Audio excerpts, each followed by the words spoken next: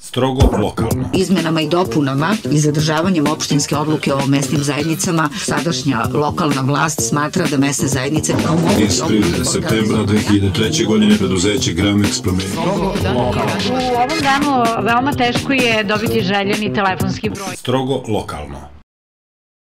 Kroz opštinu Stara Pazova, koja se nalazi između dva najveća grada, tačnije na 30 km od Beograda i 40 km od Novog Sada, prolaze sve važne saobraćajnice u regionu. Tu pre svega mislimo na autoput Beograd-Zagreb, zatim autoput Beograd-Novi Sad, magistralni put M22 i regionalni putevi R106 i R121.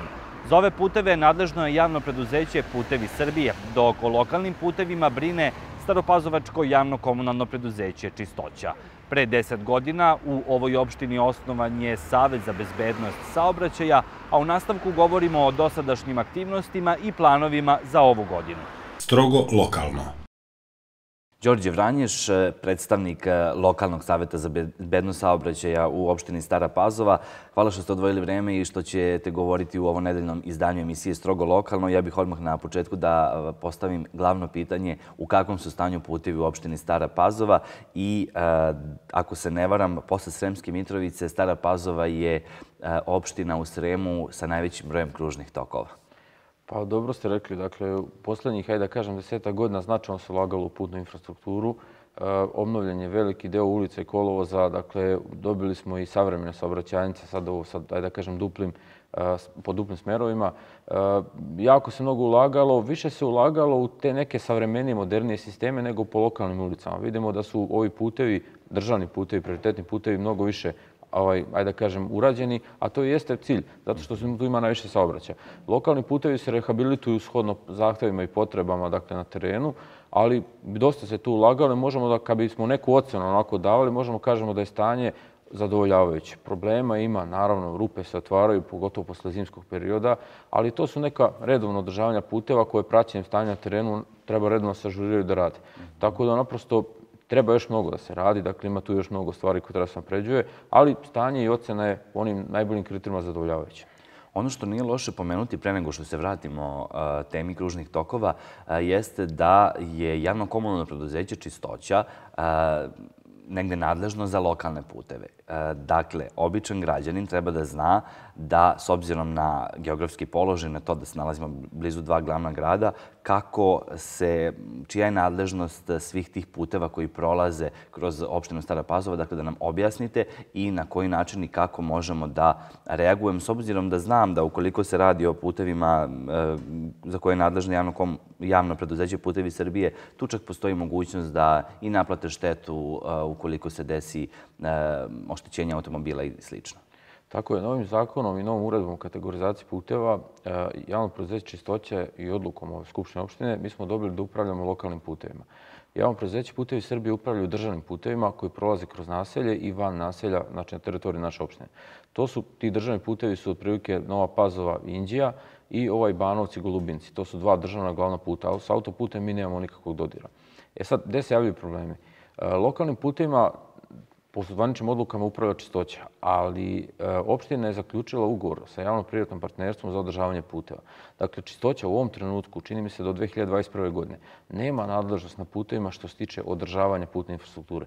Mi se bavimo samo administrativnim delima, znači izdavanjem dozvola, saglasnosti, e, saglasnosti na priključke, saglasnosti u fazi nekih izvođenja radova i tako dalje, izad putni pojas. Dakle, mi u ovom trenutku kao čistoća nemamo ovaj, nadležnosti za održavanje putevima. Tako da, ako se desi neki problem na putu, u smislu da neko ajde da kažem, ima saobraću nezgodu ili desi da pukne guma zbog grupe, to je nadležna opština. Dakle, opština, odeljenje za investicije, oni su trenutno, trenutno u ovoj fazi nadležni i oni se bave time. Mi smo tu kao, ajde da kažem, administrativna podrška dok se neke stvari ne bude u formalno pravnom smislu promenile. Kada se promene te formalno pravne, ajde da kažem, činjenice, onda smo mi nadležni.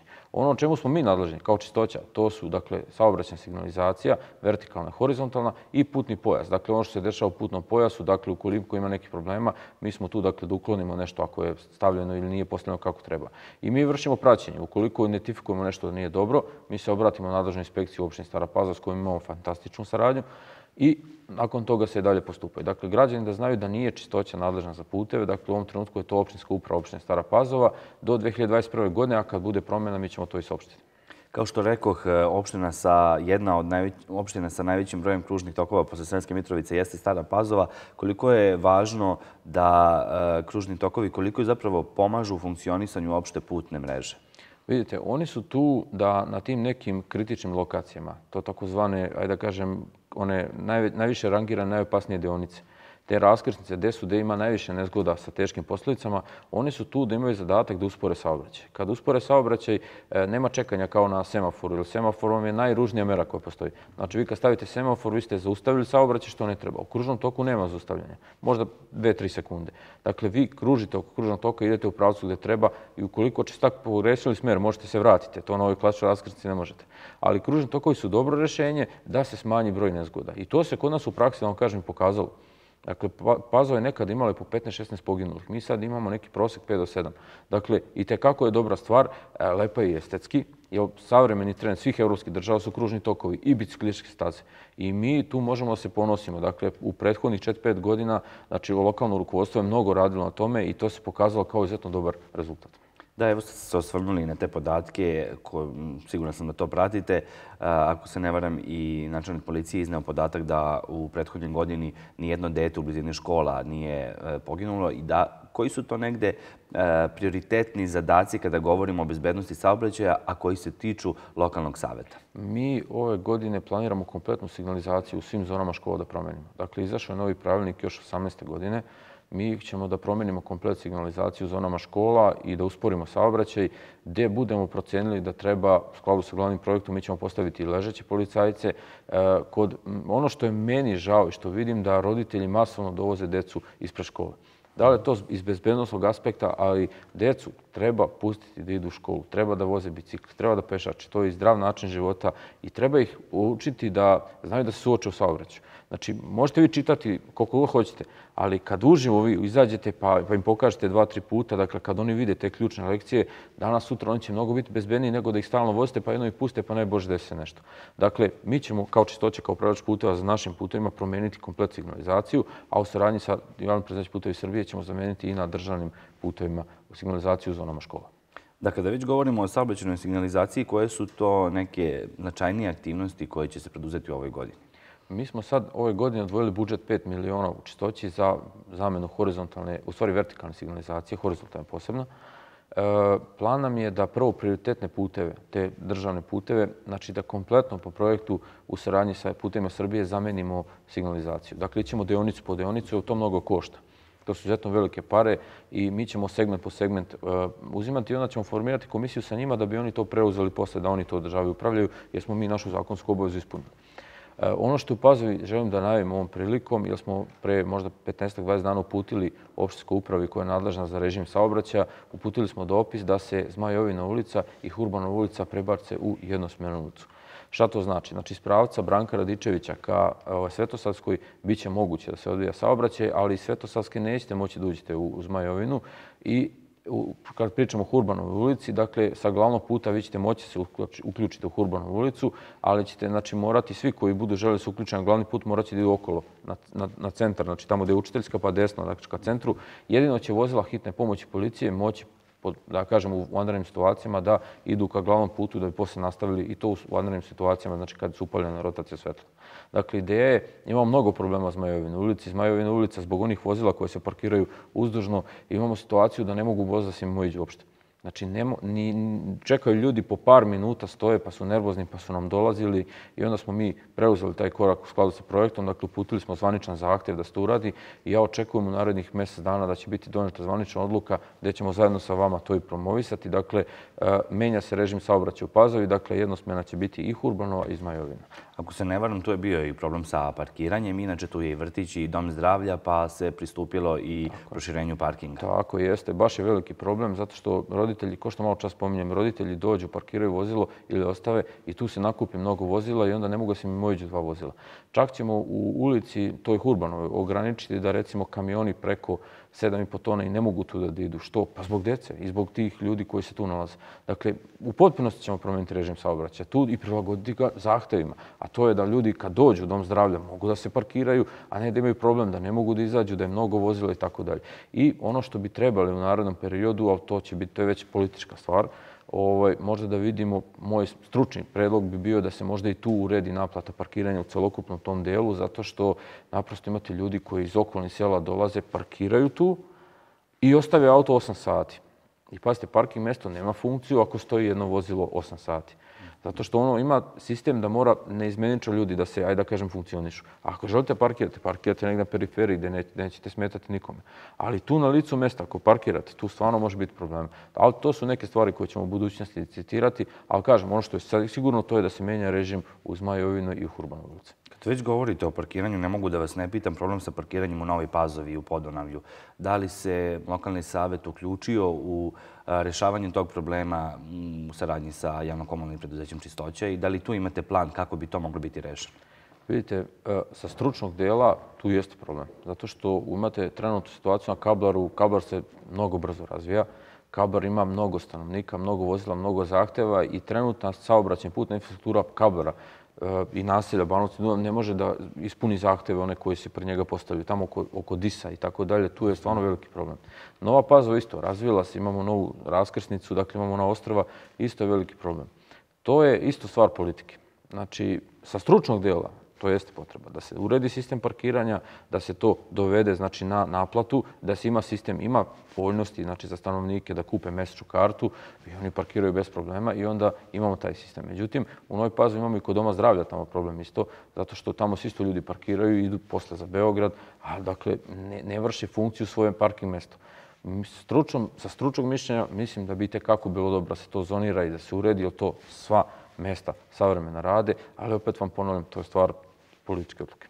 Da, e, navršava se deset, navršilo se zapravo deset godina od kako je osnovan lokalni savjet za bezbednost saobraćaja u opštini Stara Pauzova, negdje je to bila obaveza, ako se ne varam, 2009. godine da svaka opština ima. Ne znam kakva je situacija u, drugim opštinama e, u Srbiji. E, šta je prioritetno bilo u ovih deset godina i ako se ne varam, strategija koja je doneta, čega se ticala i ona je trajala od 2015. do 2020. Šta se dalje radi u ovim slučajima? Savjet je formiran juna 2009. godine, ili 10. tako nešto u tom periodu, odmah kako je donešen zakon, 2010. godine je formiran. E, ja sam bio odmah zamjenik predsjednika toga i do dan danas sam ostao 90 godina i prosto ne mogu da vjerujem kako je prošlo to vreme. E, savjet je radio na veoma dobrom nivou, da može bolje, naravno da može.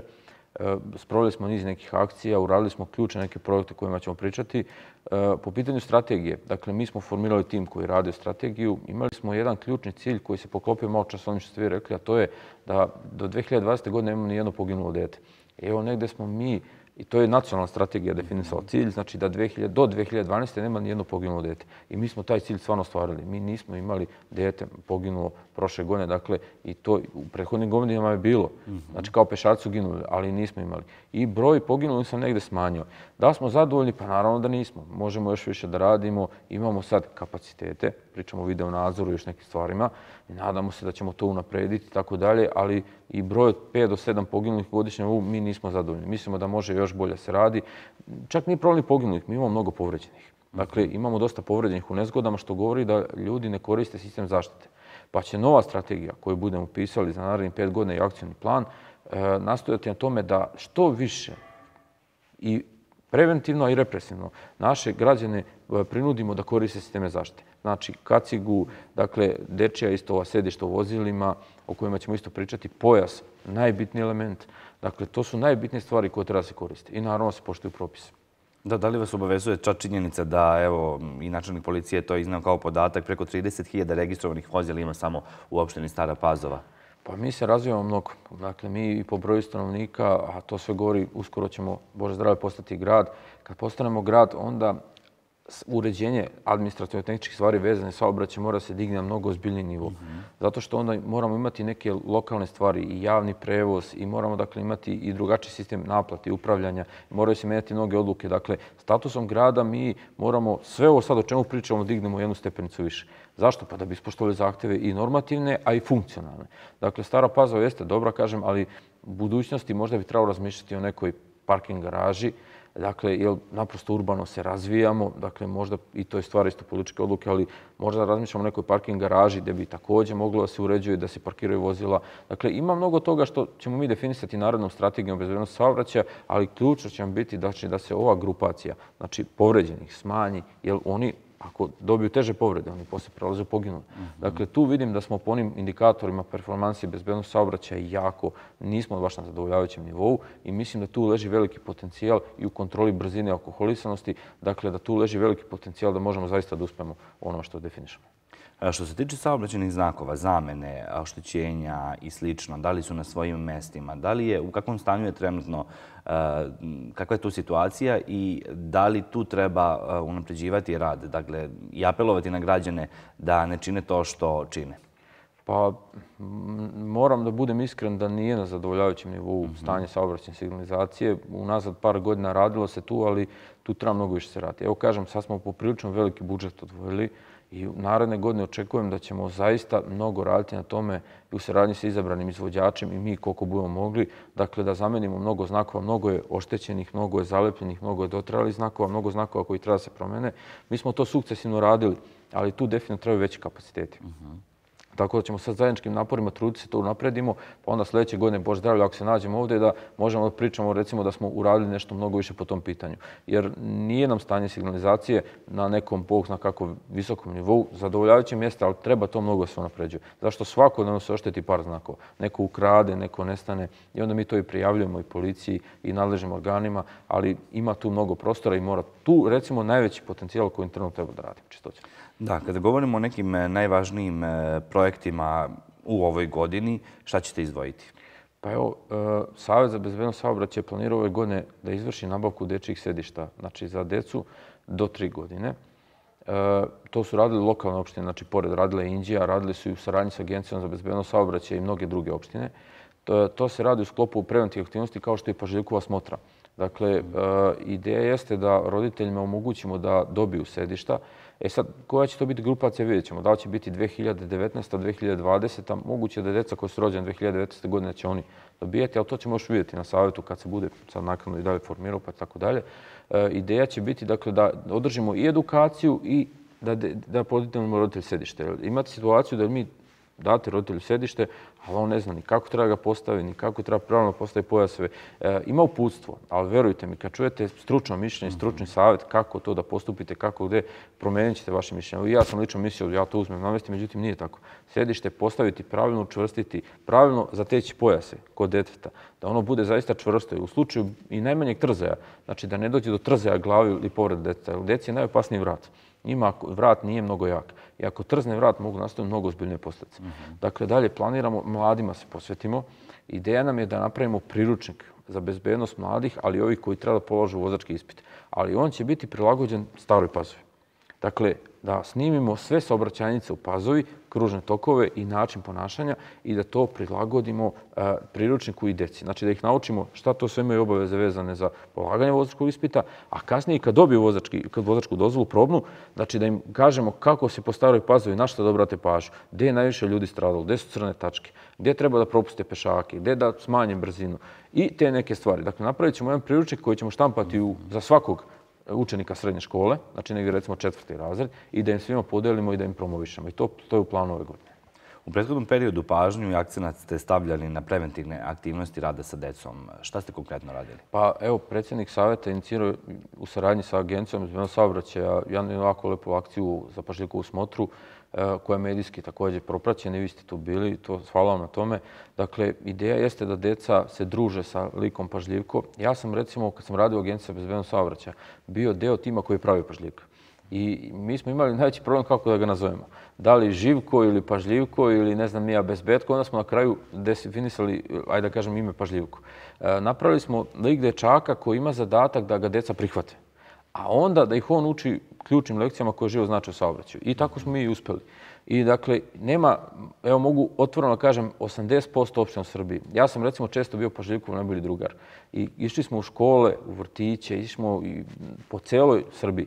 I često sam ja bio Pažljivkov najbolji drugar, pa smo često zezali da sam moja najbolji drugar. Ovaj, I ja sam zajedno sa njim djeci pričao o ključnim lekcijama i tako dalje. Jedno izuzetno iskustvo, dakle, mislim da ta priča će se i tekako razvijati. Imate Pažljivkova pravila koja su autorizovana kao priručnik za djecu, prilagođen, znači da oni imaju i Bojanka Pažljivko, imaju i promotivni filmovi. Dakle, sve je to sad dostupno djeci na internetu i kući i kroz učenje tih ključnih lekcija. Zaista, verujte mi, evo moje dete, moja Ivona, pet godina koju ima, ona meni na svakom semaforu kaže, tata, pažljivko, rekao, ne smiješ na crveno. Ne znam, nija, znači, stalno me opominje. Znači, ona ga je prihvatila. Što znači da definitivno to je pun pogodak. I na takvim prevetnim akcijama treba raditi. Mhm. Što se tiče video nadzora, e, prošle godine ste negdje najavili e, početak rada video nadzora. Kakva je primjena? Da li ove godine ste povezani sa policijom i da li možemo da očekujemo da će u narodnom periodu to funkcionisati onako kako je zamišljeno? Projekat je bio urađen u zakonskom roku. Male neke su smetje nastale administrativne prirode kod tehničkog prijema. Nemam zvaničnu informaciju da je pušteno u rad. Dakle, opričam sve o nezvaničnim informacijama. Dakle, on je u toj nekoj završnoj fazi. Ono što sam imao prilike da vidim, radi se o izuzetno fantastičnom sistemu. Dakle, sistem koji će neverovatno mnogo prekršaja ima kod nas na raskrsnici. To je toliko opterećena raskrsnica da ja vam čak e, opterećenija od svih koji se nalaze recimo u Smederevu. Poredili smo Pazovu i Smederevo. Toliki broj prekršaja se tu identifikuju 24 sata, da vi ne možete vjerovati. To su na mjesečnom nivou na hiljade prekršaja. Procesuirati to, obraditi, poslati, to je zaista veliki posao i tu će MUP imati, ajde da kažem, jako, jako mnogo e, svojih, ajde da kažem, i poslova i obima i tako dalje. Ali kad to zaživi u potpunosti, Savet će imati na raspolaganju mnogo veća sredstva nego što su sada. 2000, recimo, 19. godine smo imali 18 miliona sredstava za te stvari. To će se duplirati, a možda i više. Zašto? E, to su iskustva recimo iz Smedereva koje je postavilo video nadzor, tamo imam prijatelje, pa znam isto po drugim mještima gdje je video nadzor. Znači on će imati brzinu i prolazak kroz crveno svetlo.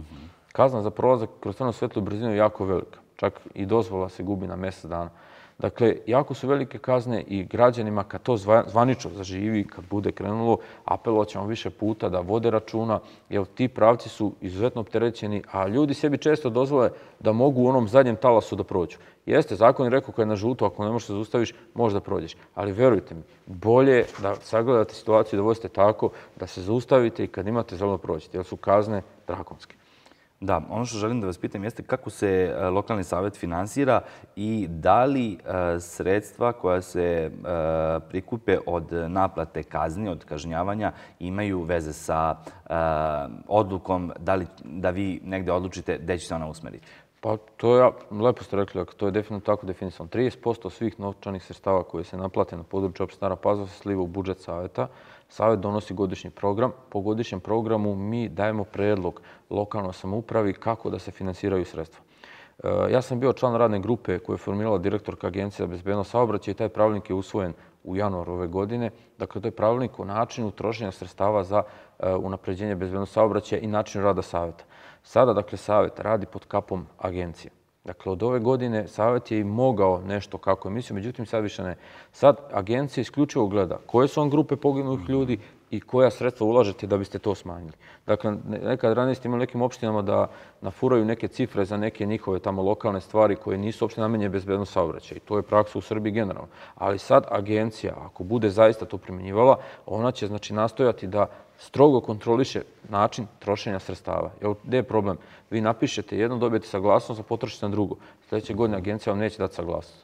Dakle, morate isključivo da trošite onako kako ste planirali i dakle, kako vam agencija daje smjernice. E sad, da je bilo problema u načinu sredstava jeste, neka se sredstva odliju u neku drugu stranu, neka sredstva, ali ono što mogu sigurno da kažem da smo gdje god smo mogli, koliko god smo mogli, dobili smo podršku lokalne samouprave za one akcije koje su bile ključne i zaista smo se trudili da uvek, onoliko koliko radimo, radimo u skladu sa programom. Dakle, i za to smo imali podršku lokalne samouprave, a nadam se da ćemo u budućem periodu imati više.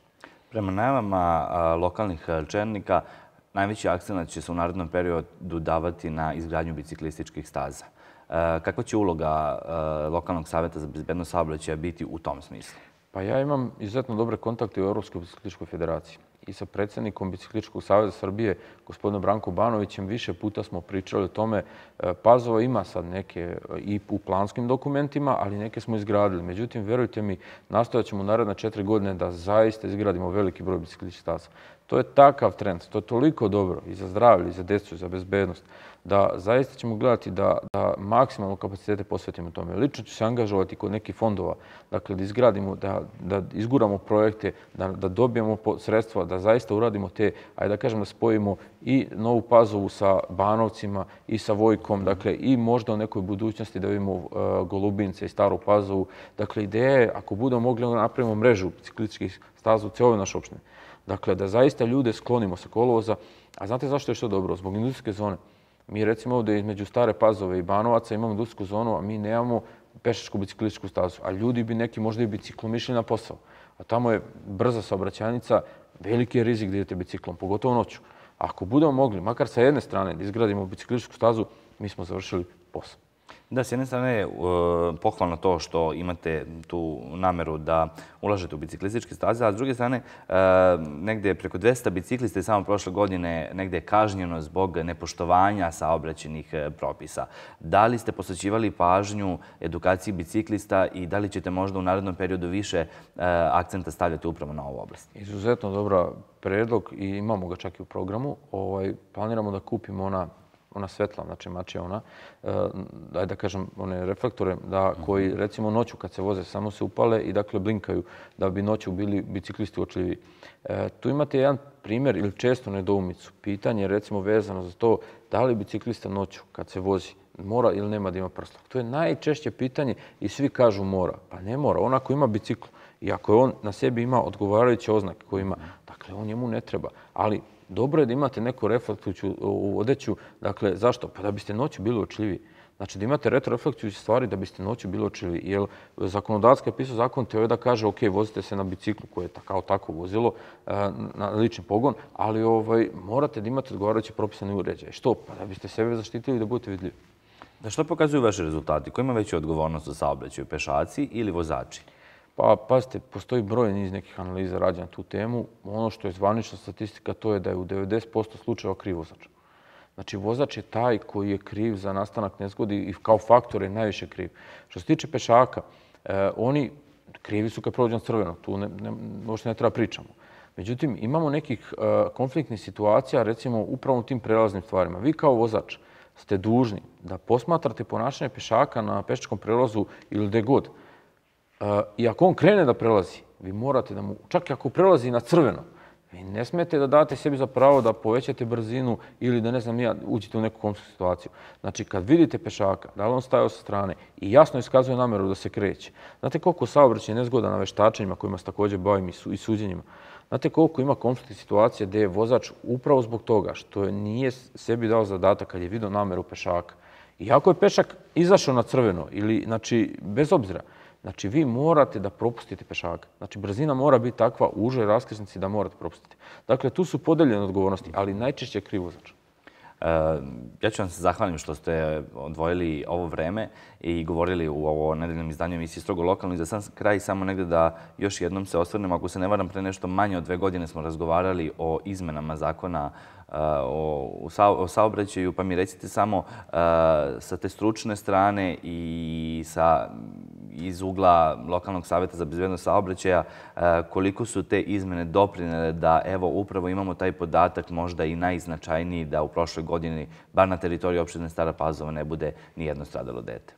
Pa svako su donali. Dakle, uvedene su strožije kazne. Kod nas se u praksi u Srbiji pokazalo da je kazna politika najbolja mera, a što nije u svetu je profesor Vujanić često voli da kaže koliko krvi na ekranu, manje krvi na putevima. Dakle, to i jeste taka praksa i to je kod nas definitivno zaživelo. Dakle, mi smo ovim kaznom politikom, što se vidi u prihodu budžeta, zaista policija radi fenomenalno svoj posao. I u budućem periodu, kad krene video nadzor, represija će biti mnogo veća. Mi očekujemo da će efekti biti daleko veći. Dakle, zakon je prvo usaglasio neke normative koje vlade u Evropi, neke izmenio kod nas, nešto je menjano za vozačke ispite, za puteve, recimo, jako mnogo sad uvedeno novina po novom zakonu o putevima. Dakle, putevi će sad morati stručno da se prate, da se pišu izveštaji, da se pišu planovi, da grupa komisije prati da li su oni dobri ili nisu i tako dalje. Dakle, normativi su jaki, sprovođenje nije baš zadovoljavajuće. Ali očekujemo recimo da će u narednim periodima, dakle, upravo tom represijom, dakle, mnogo više doprinjeti da i mi koji radimo kao lokalni upravljač puta, mnogo više imamo kapaciteta da radimo, da stvaramo, a s druge strane očekujemo da će mnogo biti bolji rezultati u praksi i broj poginuli će pasti. Hvala vam još jednom na ovom gostovanju. Hvala i vam. Strogo lokalno. Izmenama i dopunama i zadržavanjem opštinske odluke o mesnim zajednicama, sadašnja lokalna vlast smatra da mesne zajednice kao mogući Iz prirode septembra 2003. godine preduzeće Gramex promenilo. U ovom danu veoma teško je dobiti željeni telefonski broj. Strogo lokalno.